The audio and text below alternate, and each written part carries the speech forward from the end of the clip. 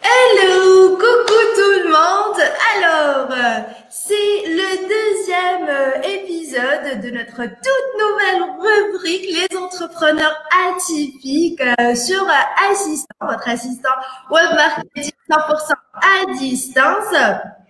Donc, aujourd'hui, j'ai le plaisir d'accueillir un entrepreneur atypique et comme je vous ai comme je vous ai dit euh, dans la présentation tout à l'heure sur la page, c'est la personne vers laquelle y aller pour créer un modèle d'affaires qui va euh, donc transformer votre business et il va vraiment euh, l'élever à son prochain niveau de succès. Donc aujourd'hui, je vais vous présenter ce modèle atypique d'entrepreneur qui a su créer sa propre version de succès à sa façon, à sa manière. L'objectif est de vous montrer, chaque entrepreneur, qu'il existe plein de modèles, plein d'exemples pour, euh, pour créer votre propre version de succès. Vous n'avez pas à faire comme les autres.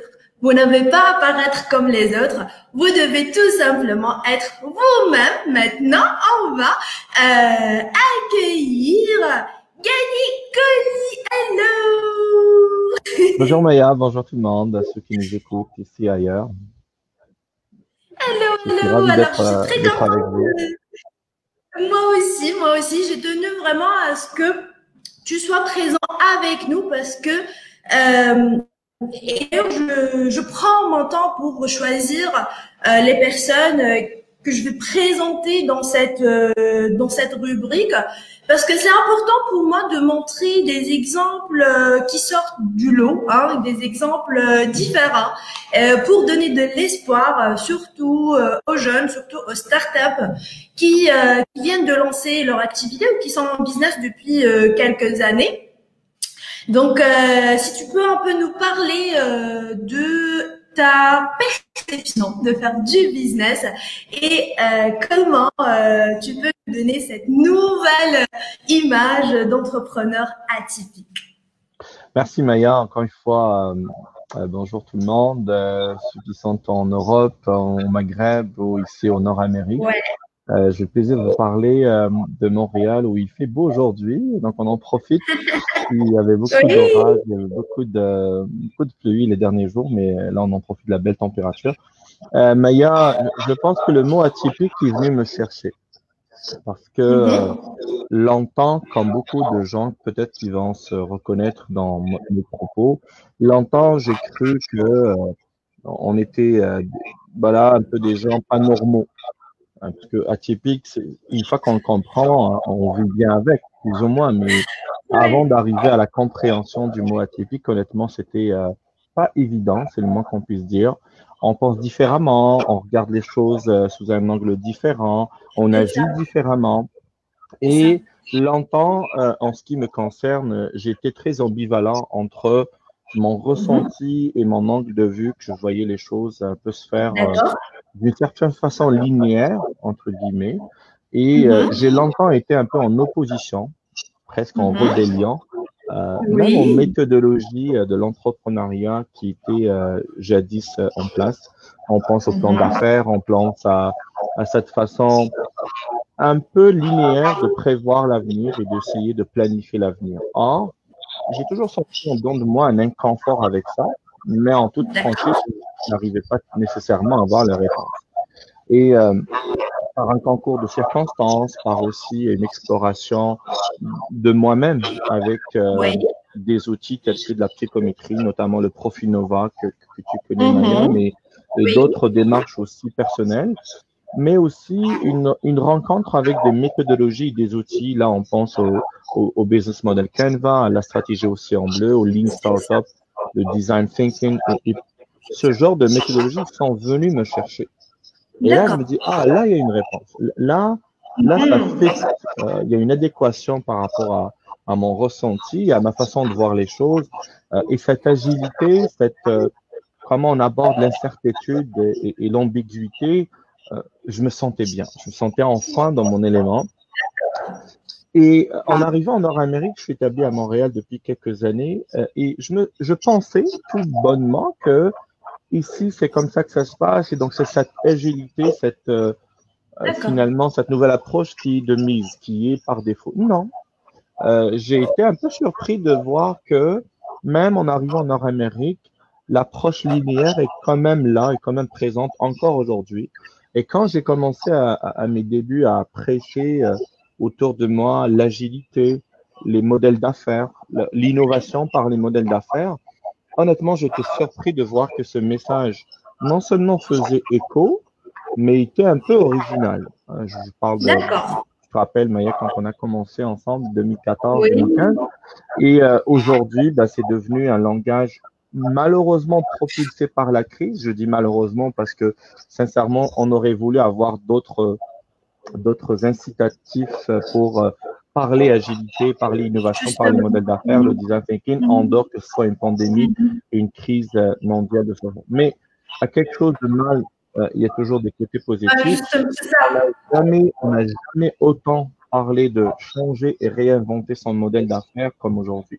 Donc voilà comment moi j'aborde le monde des affaires, c'est des retrouvailles avec quelque chose qui était ressenti, probablement mm beaucoup de, des spectateurs aujourd'hui, de, de, ceux qui nous écoutent et, réécouteraient.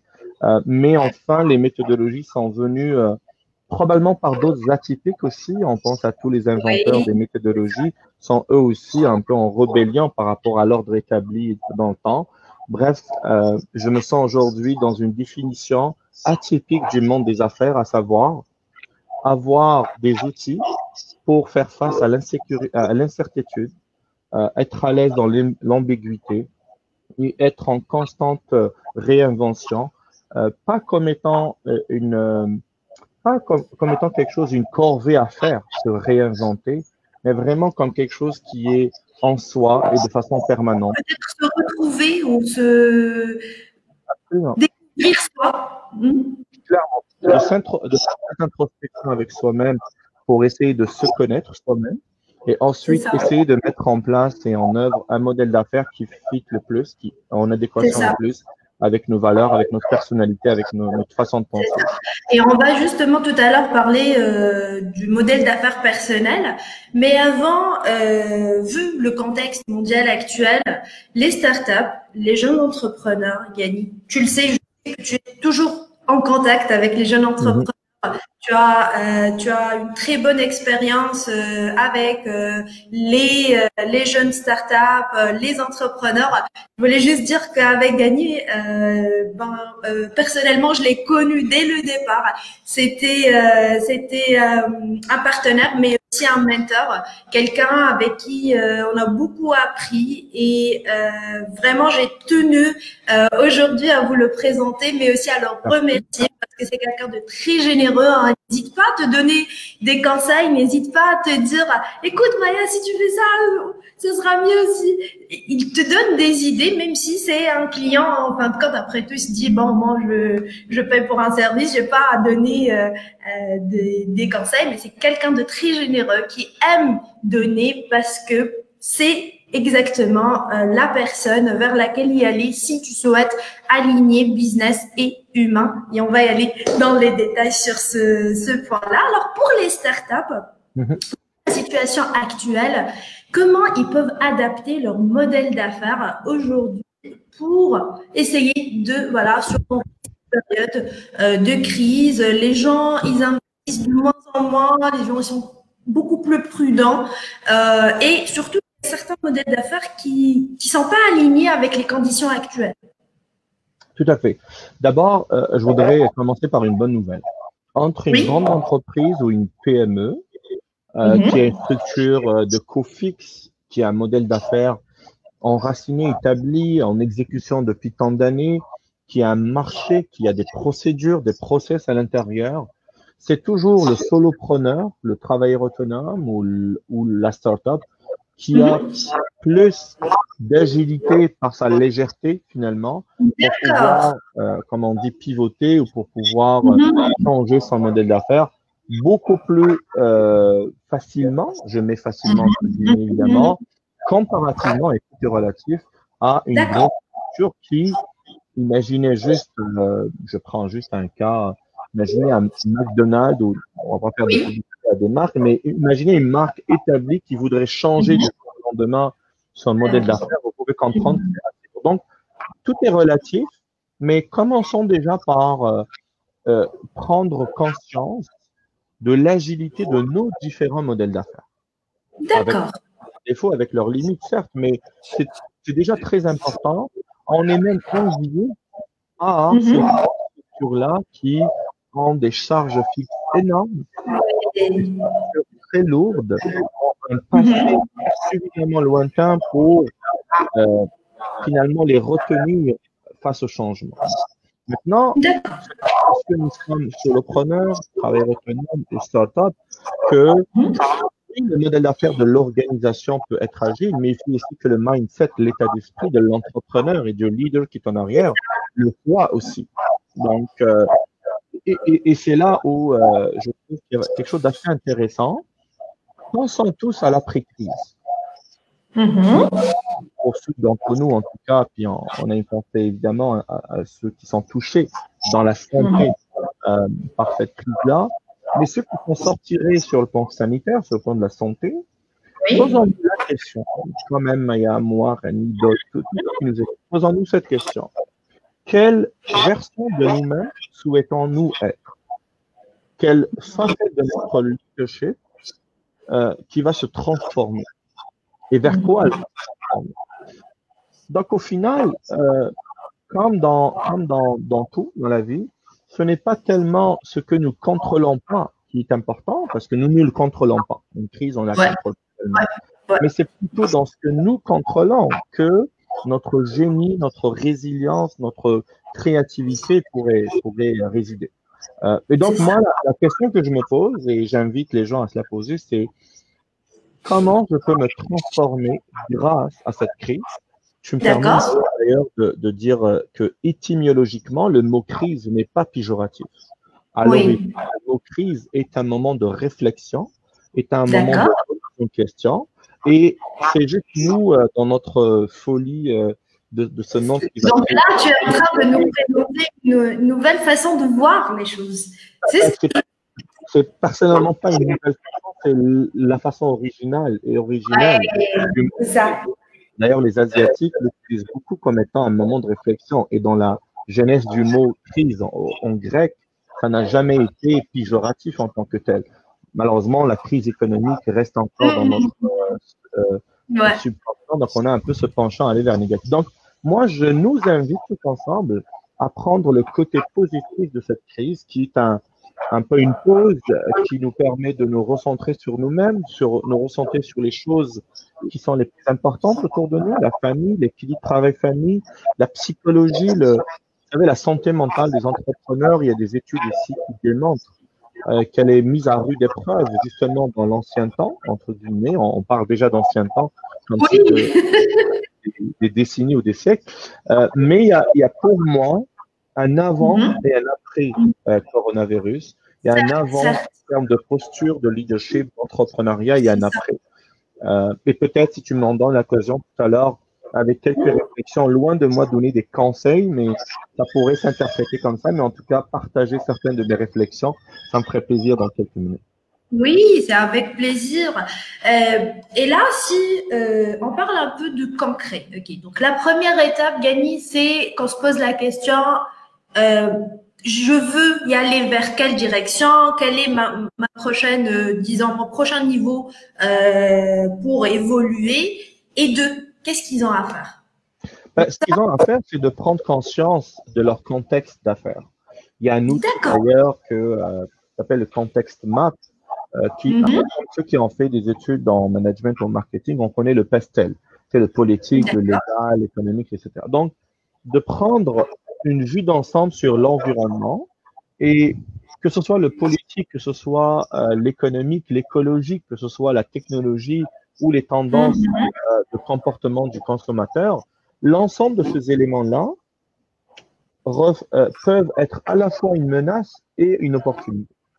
Donc, juste de prendre son modèle d'affaires et de prendre sa personne aussi, après avoir fait ce cheminement, de se dire quelle version de moi-même je souhaite devenir, de me dire comment je peux profiter d'un contexte extérieur qui peut influencer et impacter mon modèle d'affaires de sorte à ce que je puisse être un peu plus innovant, un peu plus résilient et éventuellement changer mon modèle d'affaires en appliquant Maya quatre actions.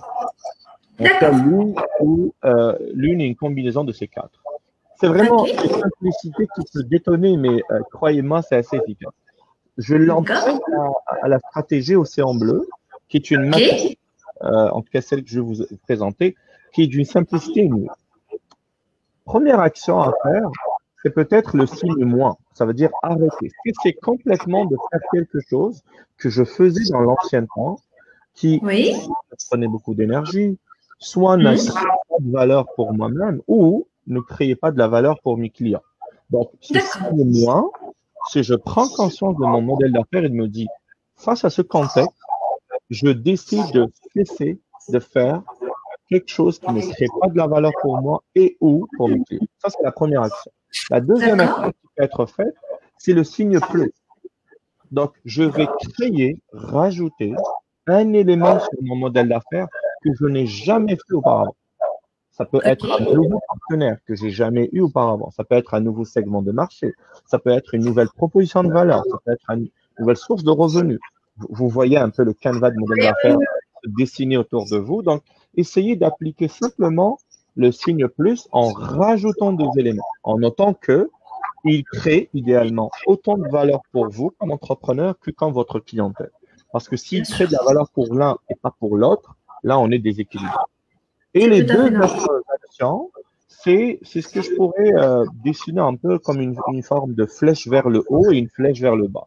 À savoir, la flèche vers le haut, c'est je prends un élément existant déjà dans mon modèle d'affaires, je vais juste l'augmenter. Par exemple, je trouve beaucoup de plaisir à interagir avec une catégorie de clientèle.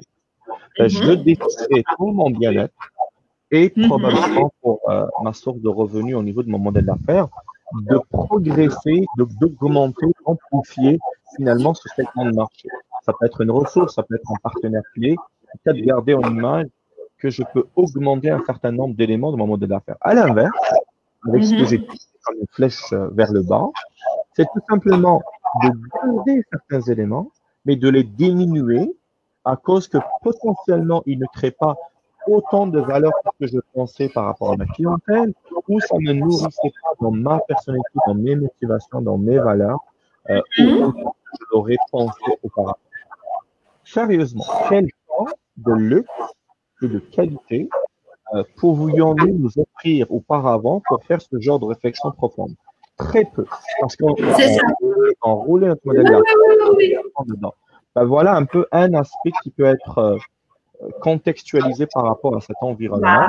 Et tu disais euh, que je suis en, contact avec des entrepreneurs. Ce matin même, avec avant la rencontre, j'étais justement en coaching avec un mhm. entrepreneur et juste après toi aussi, j'en rencontre un autre et je, je navigue finalement, je boutique comme une abeille et, et c'est assez incroyable et, et, passionnant de voir les modèles d'affaires des personnes se transformer devant moi pour créer de la congruence, pour créer de la résilience et pour créer euh, un meilleur alignement entre qui sont les gens et ce qu'ils font en termes de modèle C'est ça. Ça. Et, là, j'ai. Euh, en fait, en faisant un petit tour euh, sur ton site, et après, on va rajouter aussi le lien vers ton site, il y a une phrase qui m'a qui m'a vraiment touchée. Et là, tu, ce que tu viens de dire, c'est créateur d'impact humain. Mm-hmm. Un peu euh, parce que parfois, on fait les choses euh, sans avoir réellement d'impact sur l'autre. Et c'est ce qui fait qu'il y a des personnes qui réussissent, d'autres qui n'arrivent pas à réussir parce que on fait partie de ce monde-là et si on crée pas un impact euh, sur les gens, ben je vois pas l'intérêt réellement euh, de créer un business, euh, tu vois, avec tout euh, tout tout le, le process, euh, tout le temps qu'on passe et tout. Donc J'adore cette phrase, créateur d'impact humain. C'est exactement toi. merci Maya. Puis effectivement, c'est une évolution dans, dans le temps. Euh, tu te rappelles en 2014. Puis je, je le partage avec les, les, auditeurs pour voir qu'on peut évoluer et qu'on peut aussi se transformer. Bien sûr, bien sûr. Gany, j'arrive pas à t'entendre. Allô, est-ce que c'est bon? Maintenant, c'est bon, c'est parfait. J'ai touché un, un bouton erreur. Tu vois, la technologie, des fois, c'est très Moi, je croyais beaucoup au potentiel de la technologie. J'y crois mhm. toujours, mais je vais nuancer euh, mon propos dans quelques secondes. Avant, je croyais que la technologie pouvait être une destination en tant que telle. Avant, je croyais que la technologie pouvait vraiment résoudre euh, à peu près l'ensemble de nos problèmes. Euh, on pense par exemple au marketing numérique que tu, tu, tu maîtrises bien, Maya, avec ton équipe. On pense à, à cette intelligence artificielle qui, qui euh, robotisation qui, qui arrive dans notre ère. Et, et j'ai découvert cette, euh, cette, partie de l'humanité finalement. Et aujourd'hui, je parle modestement de l'humanité augmentée. Donc, comment la mhm. technologie peut augmenter l'humanité et non pas, euh, non pas la technologie pour la technologie en tant que telle? Donc, euh, et, et, je trouve très aligné. C'est pour ça que j'ai accepté avec plaisir cette ton invitation, Maya, parce que je sais comment toi et Dora, que je salue, et l'ensemble de l'équipe, comment, oui, vous mettez de l'avant les technologies, mais intuitivement et intrinsèquement, vous avez ce côté humain qui est suffisamment attachant.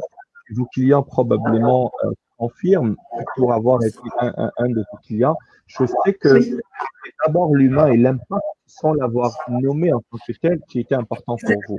L'ensemble des entrepreneurs et entrepreneurs, eux, euh, qui sont euh, finalement investis d'une mission euh, et d'un mm-hmm. pourquoi assez fort, le why, pensez un peu à Simon Sinek quand on, on parle de ce why, qu'est-ce qui nous mm-hmm. motive?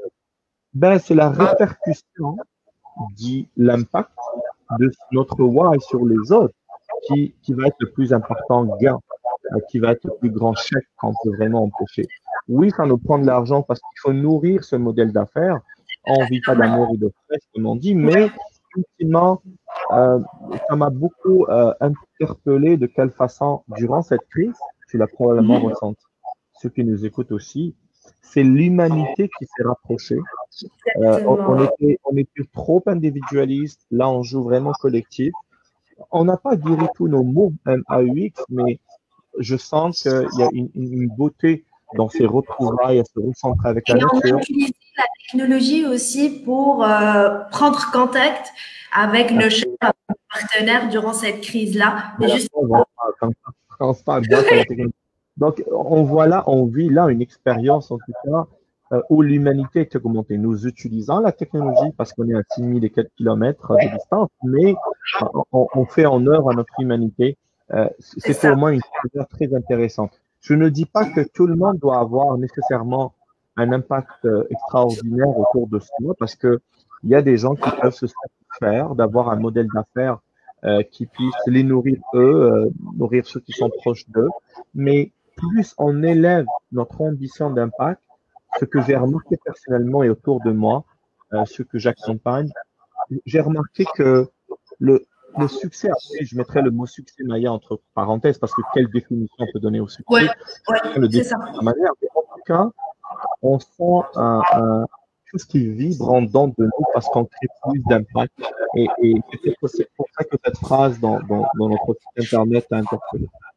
Oui, c'est exactement ça. Et euh, pour faire le lien un peu avec la prochaine question, en fait, euh, je vais parler du travail à distance ou le télétravail. D'accord? Dans la dernière période, euh, ben les gens ils étaient, enfin ils n'avaient pas le choix. Si si tu veux que le boulot avance, tu dois euh, utiliser hein, les, la technologie justement pour faire avancer le travail.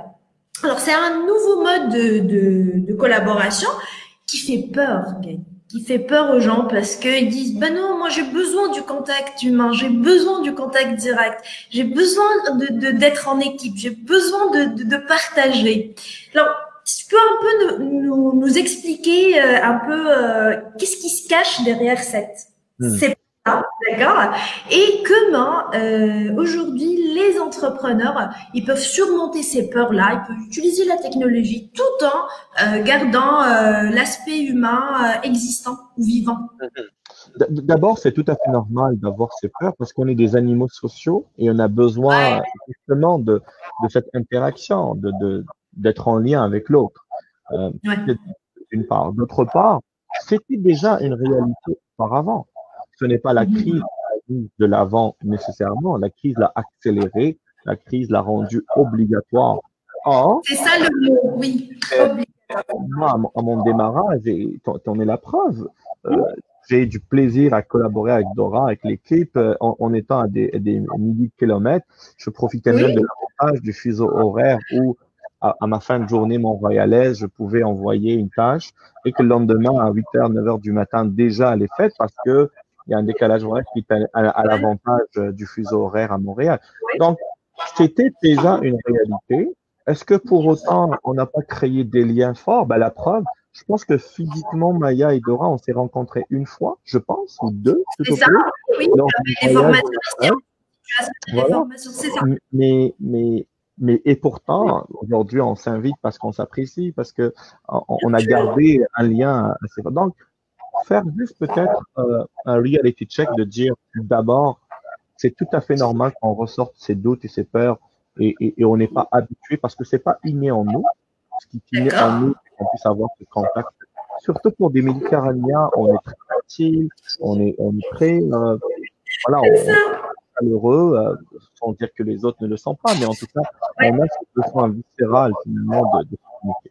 Et d'autre côté, que c'était déjà une réalité. Donc, posons-nous la question, en dehors de la crise, en dehors que ce une obligation, comment j'aurais pu profiter comme entrepreneur de cet arsenal technologique pour, encore une fois, augmenter l'humanité et non pas la diminuer? C'est ça le secret. Parce que si je veux remplacer euh, mes liens humains par la technologie, là, l'ambition est très forte. moi, je ne saurais pas faire. par contre, il m'était donné comme mission de garder l'humanité au centre et de l'amplifier, de l'augmenter par la technologie, j'ai moins vécu ces deux, j'ai mhm. moins de frustration, et bien au contraire, c'était devenu un peu un monde de, un monde bicéphale et un monde hybride, donc où je, je, je, m'amuse, puis j'ai de belles relations humaines quand on a la chance d'avoir du contact direct, mais aussi euh, je m'épanouis, je, je suis assez content et je crée des liens forts quand on est aussi à distance. Est-ce que c'est facile? Non, pas du jour au lendemain. Donc, je, je, nous invite à prendre un pas de recul de dire, ici, c'était moi qui drivais ce changement. C'était moi qui décidais d'aller vers euh, de, numérique et, le, à distance. Je vais te raconter une, une anecdote. Quelques jours à peine avant le démarrage de, un peu de cette crise, donc on est vraiment à la fin février, moi j'ai fait à mhm. Montréal un groupe de chefs d'entreprise dont je suis le leader dans un groupe et à, chaque demande rencontre. Et comme par hasard, le 26 février dernier, on était dans une rencontre où un des membres nous mhm. partageait son, son défi parce mhm. qu'il recevait une demande de certaines de ses collaborateurs et collaboratrices de vouloir passer d'un jour semaine à distance à trois jours, euh, pardon, d'un jour par mois à distance à trois jours par mois à distance. D'accord. Et on en a fait tout un, un, débat, mais on a une méthodologie de, de traiter ces enjeux-là et on a essayé de lui donner des perspectives et chacun partage son expérience. Le 26 février, le 14 ou le 15 mars, cette pandémie est euh, arrivée.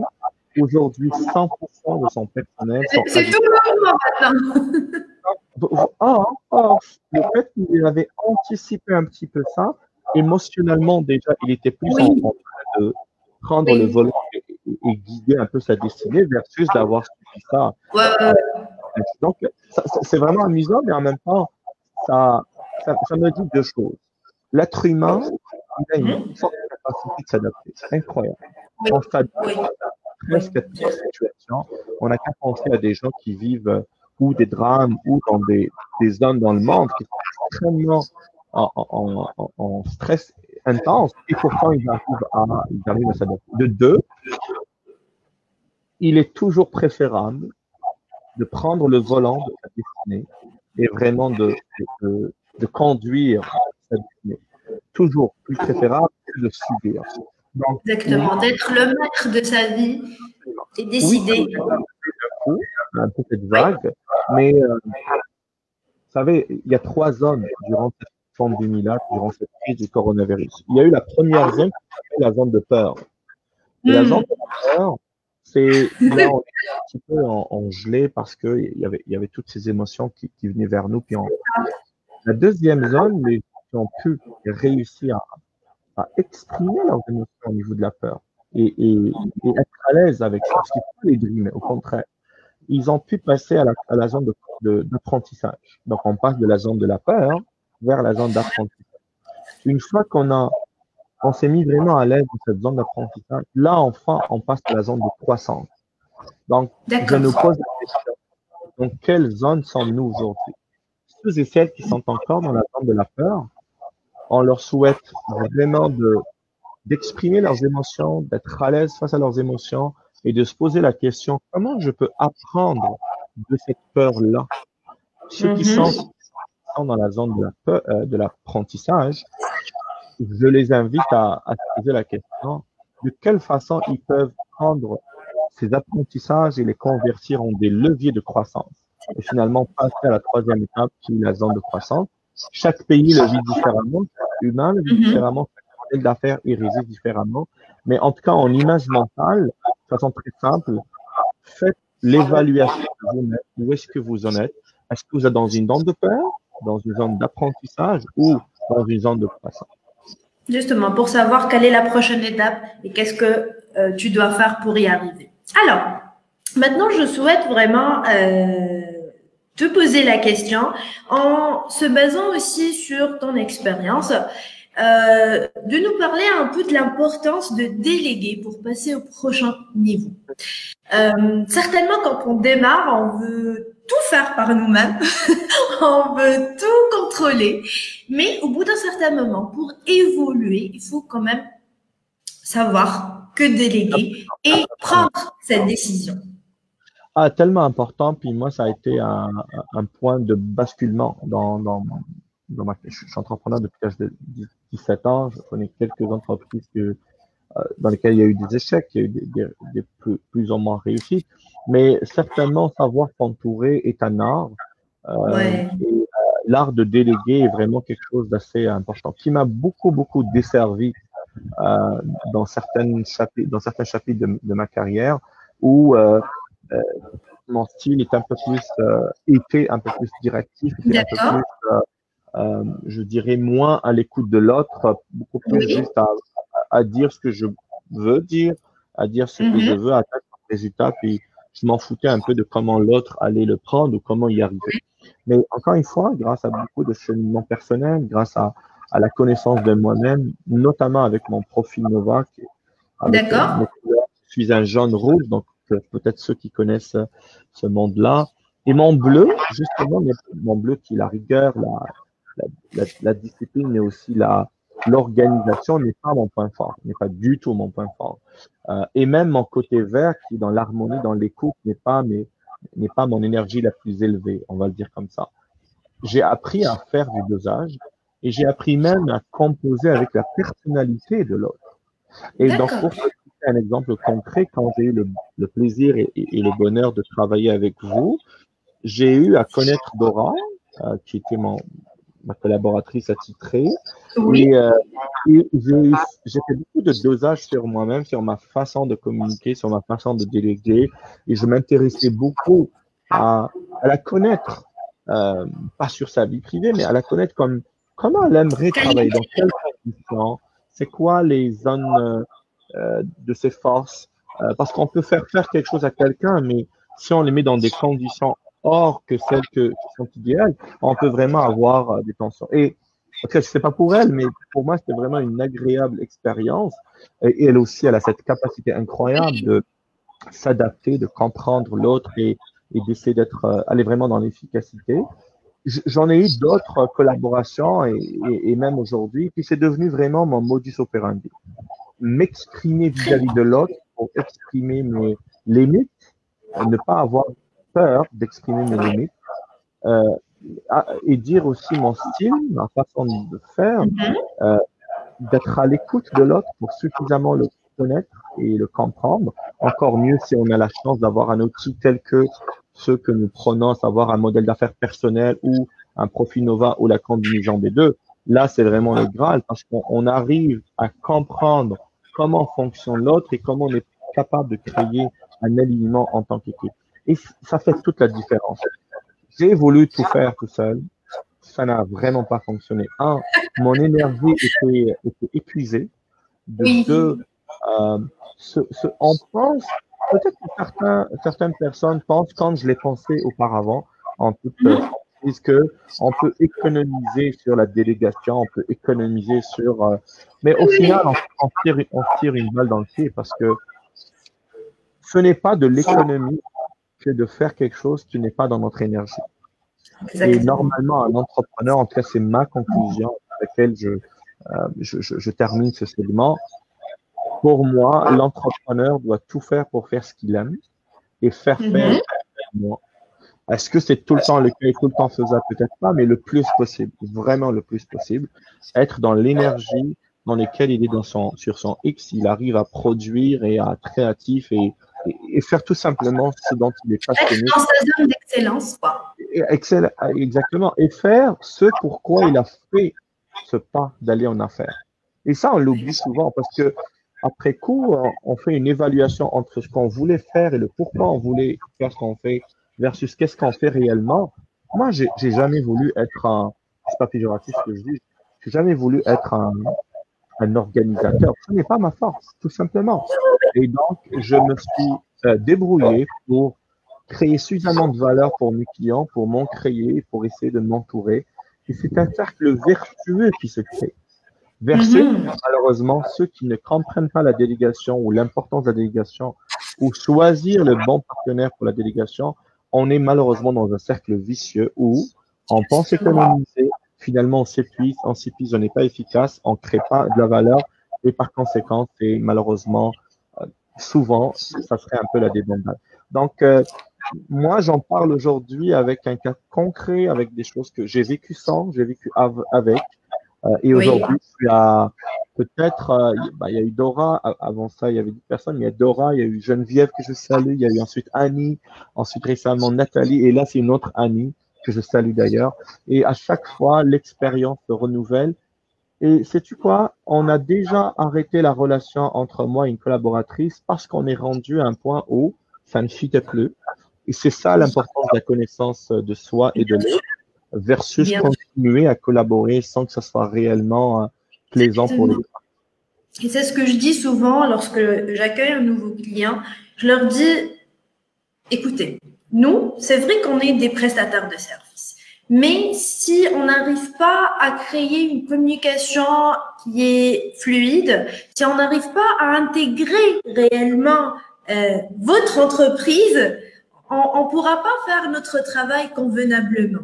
Et ça, c'est ce que je dis souvent. Donc, c'est le lien euh, humain qui compte le plus parce que on doit se comprendre pour pouvoir collaborer à long terme, surtout si notre objectif est de créer une relation à long terme.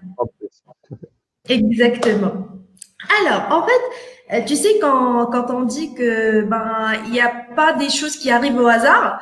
Et j'étais en train de, de lire un, un livre et euh, j'avais notre interview dans, dans, la tête et ça m'a fait vraiment cette citation m'a fait euh, rapidement penser à, à, à toi.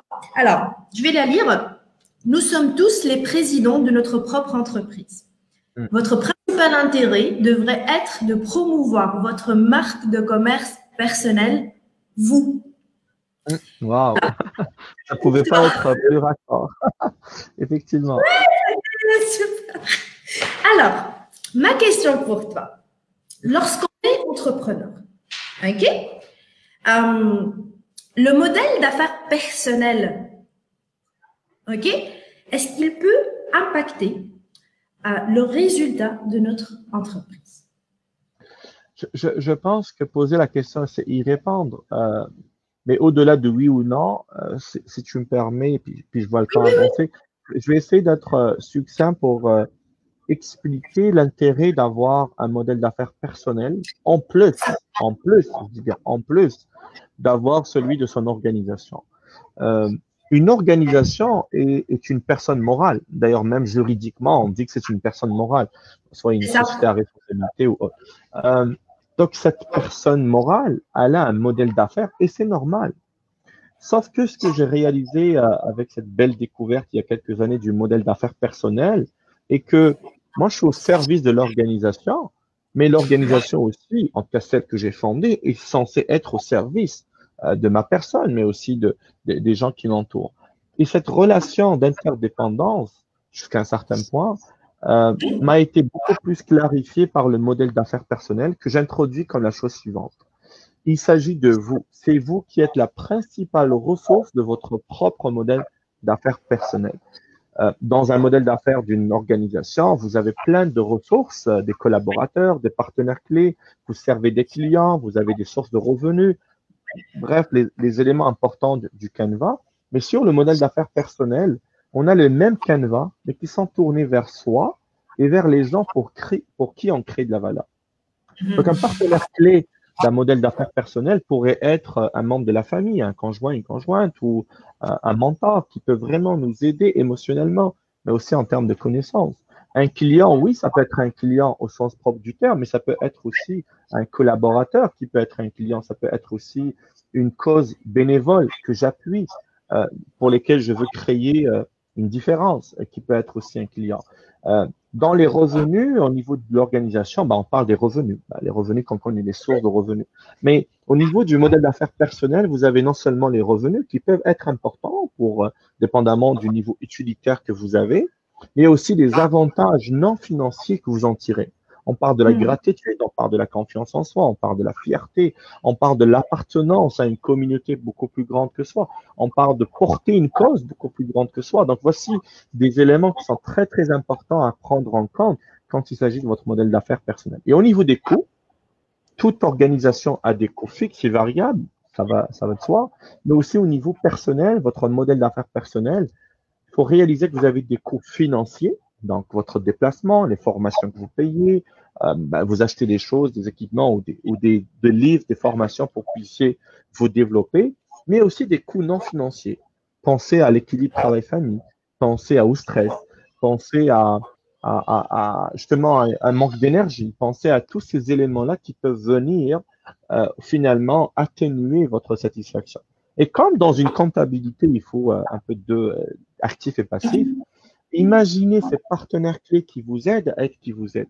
Imaginez votre ressource principale qui est vous-même, avec sa personnalité, ses limites, ses forces, euh, ses motivations, ses habiletés, euh, surtout qui vous êtes vraiment, qui vous, et non pas qui vous prétendez être. Il y a aussi un gap entre le naturel et l'adapté, euh, comment on s'adapte à notre environnement. On invite vraiment les gens à prendre conscience de leur style naturel et non pas seulement celui adapté. Qu'est-ce que vous créez comme valeur? À qui vous la créez? Quelle source de revenus vous avez Mais aussi des avantages non financiers que vous en tirez?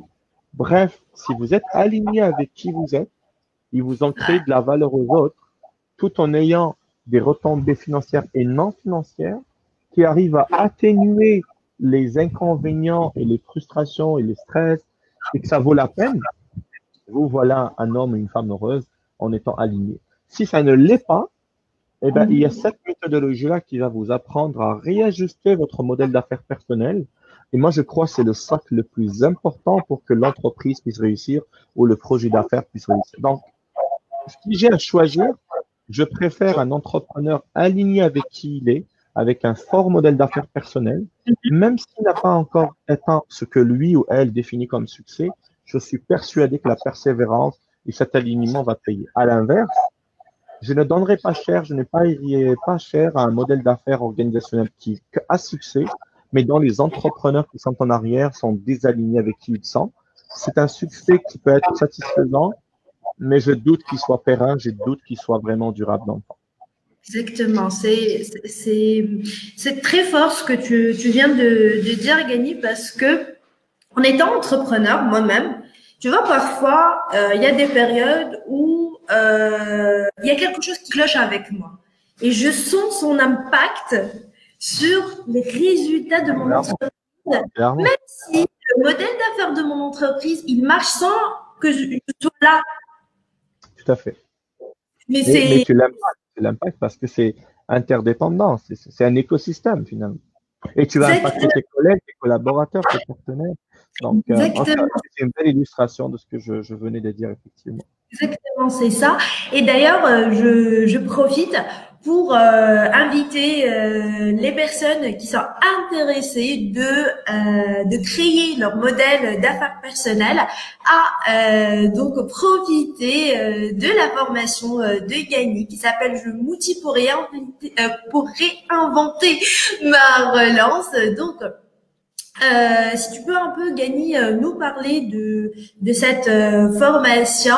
Avec plaisir par la suite, je vais vous dire la surprise euh, de, de gagner juste euh, une fois qu'il nous présente euh, la formation.